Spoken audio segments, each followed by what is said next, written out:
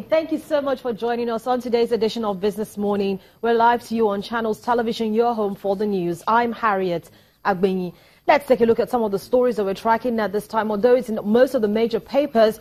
But it seems as though the federal government is ramping up its talk about recapitalization of the Bank of Agriculture.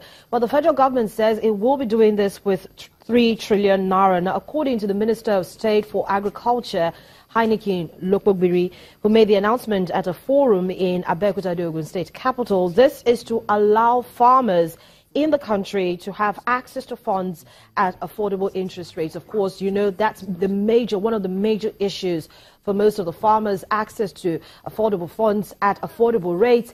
And even though we have the Development Bank of Nigeria now on stream, that's going to be catering to the small, medium um, enterprises. And it's a welcome development, especially at this time that the federal government is looking for ways to ramp critical sectors of the economy. Now, the minister also mentioned that the nation's fish demand stands at 3.1 metric tons per annum, but the current production is around 1.1 metric ton tons per annum, leaving a deficit of 2.1 metric tons. Can I hear the ching ching? So everybody is thinking about how they can tap into this deficit and begin to ensure that we have enough fish to last us at least for a, long time. I know the Association of uh, Seafood producers has been complaining about the porous borders that continues to allow the influx and uh, the import of you know, frozen fish, most of which is not really good for your health. So you should actually look at this plan and see how best you can work with your state government, your local government, and even the federal government to improve uh, fish production to meet the fish demand. But in the meantime, the federal government has concluded plans to settle the over 230.9 billion naira backlog of export expansion grant owed to exporters. And that's according to the Executive Director and Chief Executive Officer of the Nigerian Export Promotion Council, Segun Awolowo, who says government has decided to pay the arrears and treat them as national debt. He explains that the council is also in talks with the Debt Management Office with a view to issuing treasury bills to offset this debt. Let's come to the markets now. Quite a lot going on at the Nigerian Stock Exchange.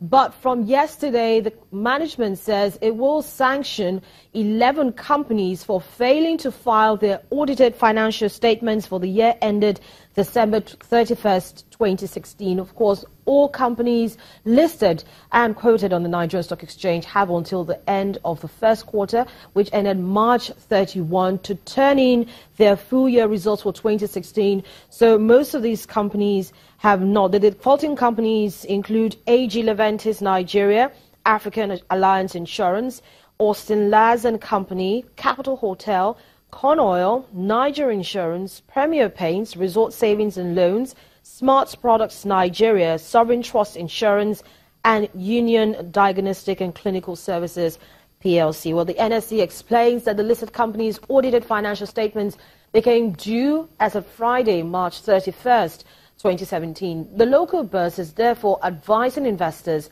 to trade with caution on the securities of these companies owing to the absence of up-to-date financial information on them. So what else is in the news? The Central Bank of Nigeria announced over the weekend that it will begin to sell short-tenured uh, forward futures of between uh, 7 to 30 days. So let's take a look at some FX market news that we're tracking. The Central Bank opens new window of about $20,000 per quarter of forward FX sales for imports of eligible finished and semi-finished items to small and medium-scale enterprises. Now, the central bank special intervention is to help crowd due, is due to crowding out of the SMEs of Forex by larger firms when trying to access this at the official window. So this is a very welcome development. We've got Amaka Ajebu coming up on the program much later. Amaka is a research analyst with Financial Derivatives Company. She'll be talking to us about this latest piece of news, this latest news and actions by the Central Bank of Nigeria for SMEs and its impact, expected impact, of course, on the market. The still talking about this FX market news, SMEs with asset base ranging uh, between 5 million and um, 500 million naira fit the bill to access this uh, um, $20,000 per quarter F forward FX sales from the central bank, and they must have in their employment between 10 to 200 persons. Exchange rate for the new SMEs windows is yet to be announced, so we'll closely monitor that from the Central Bank of Nigeria. But of course, you can go to the Central Bank of Nigeria's website to get more details on this particular information. But coming in from the currencies market, let's quickly take you through how the Naira is looking like against most of the basket of currencies that we take a look here at the program, talking about the dollar, the British pound, and the euro. Starting from the interbank spot market, we have the Naira to the dollar at 306 Naira, 15 kobo. But to the British pound is at 390 Naira, 74 kobo, and to the euro, it's at 324 naira 50 kobo. At the parallel market, the naira still continued uh, flattish yesterday as um, it closed at 405 naira to the dollar, 490 to the British pound and 425 naira to the euro. And according to analysis report from Investment One, going forward, they expect CBN's continued intervention in the FX market to support the local currency in the near term. We'll talk a little bit more about this. Yesterday, the Association of Bureau de Change Operators of Nigeria held a special meeting here in Lagos, and the president talked a little bit, talked more about the CBN's intervention and what they're expecting. They also talked about having a reduction between the spread from 2 naira to 5 naira increasing the production, I beg your pardon, increasing the spread between the uh, from two naira to five naira. So we'll talk a little bit more about that. Uh, Channels Television producer Temple Ashaju spoke to the president Aminu Gwadabe after that special meeting. You want to stick around to hear what he said. But one of the most important takeaways from that meeting is that they will continue to support the central bank as it continues its intervention in the market, trying to converge the rates between the official and the street market, and they will punish any errant uh, operator who flouts the guidelines uh, according guidelines and rules according to the Central Bank of Nigeria. So you want to stick around to listen to that particular uh, interview that Tempo Ashaju had with Alhaji Aminu Gwadabe. But let's take a look at uh, closing figures from yesterday's trading with trades worth 585 million naira, that's about 584.71, approximated to 585 million naira recorded on the first trading day of the week. The Nigerian stock market opened the week in the red.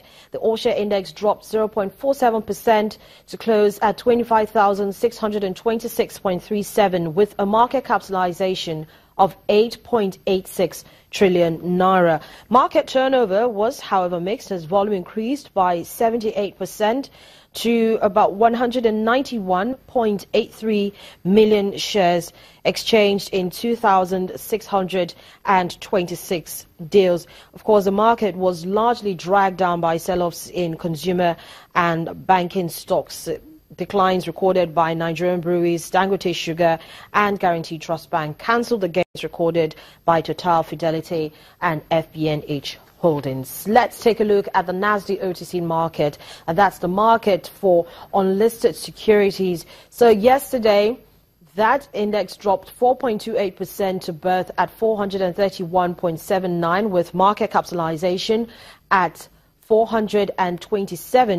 427.55 billion naira. But take a look at um, the number of shares exchanged yesterday, about 1.05 million uh, exchange shares were exchanged by investors in five deals valued at 9.87 million naira.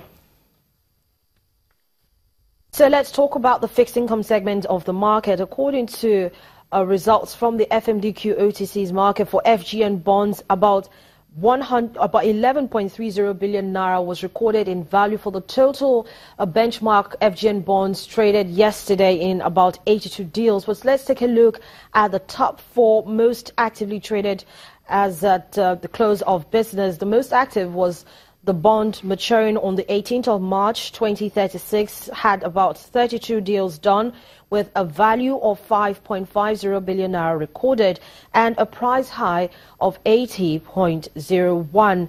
And the list most actively traded with a value of 1 billion naira recorded is the bond maturing on the 17th of March 2027. Of course, um, most analysts expect investors' appetite to continue to rise in the fixed income segment of the market as they feel more comfortable buying FGN bonds and treasury bills as well. So let's take a look at how the treasury segment of the market finished off yesterday. All right, so we had 386 deals recorded for, with a value of 108.07 billion naira for the first trading day of the week. Investors still favoring mostly short to medium dated bills, except for the bill maturing on the 7th of December. That's uh, a new one, especially since, as I mentioned, investors continue to take um, short stands towards the treasury bill segment of the market. But these were the four most actively traded by investors. Let's quickly talk about the S&P Nigeria Bond Index. That's also listed on the FMDQ OTC Securities Exchange. As of yesterday, the index level is at 273.74, appreciating 0.06%, uh, with a month to date also up 0.30%, and year to date is at 4.42%.